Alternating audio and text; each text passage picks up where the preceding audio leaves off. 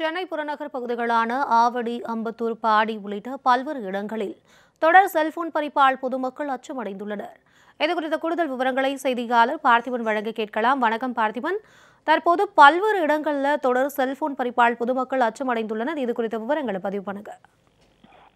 பிரியங்கா இந்த சென்னை அந்த அம்பத்தூர் பகுதியில் தொடர்ந்து செல்போன் பறிப்பில் மர்ம நபர்கள் ஈடுபட்டு வருகிறார்கள். இதனால வந்து அந்த பகுதியில் இருக்கக்கூடிய பொதுமக்கள் அச்சம் நடந்து கூட சொல்லலாம் பிரியங்கா. தொடர்ந்து இந்த பகுதியில் நடந்து செல்லக்கூடிய பெண்களிடம் வந்து செயின் பருப்பு ஈடுபடுவதும் அதனை தொடர்ந்து செல்போன் பேசி கொண்டு போகும்போது அந்த செல்போனை பறித்து செல்வதும் வழக்கமாகவே பார்க்கப்படுகிறது.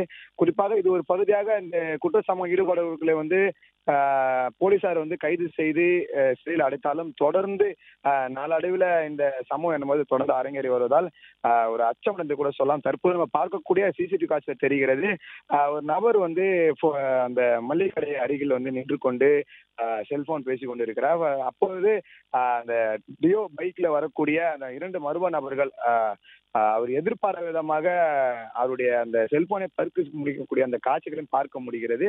குறிப்பாக ஆண்கள் இருக்க ஆண்கள் வந்து தற்பொழுது இது போல செல்போன் பயன்படுத்தக்கூடியவர்களிடம் வந்து மர்ம நபர்கள் வந்து பிடித்து செல்கின்றனர்.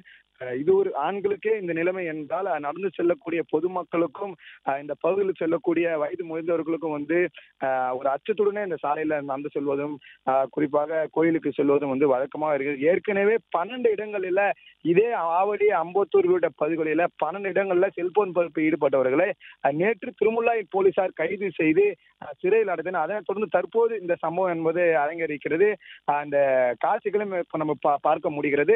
உடனடியாக ஆவடி மாநகர போலீசார் இதை வந்து தடுத்து நடவடிக்கை வேண்டும். ஆண்களுக்கு இந்த நிலைமை என்றால் நடந்து செல்லக்கூடிய பெண்களை வந்து பாதுகாப்பு உறுதிப்படுத்த வேண்டும் என்பது இவருடைய பிரதான கோரிக்கையாக இருக்கிறது.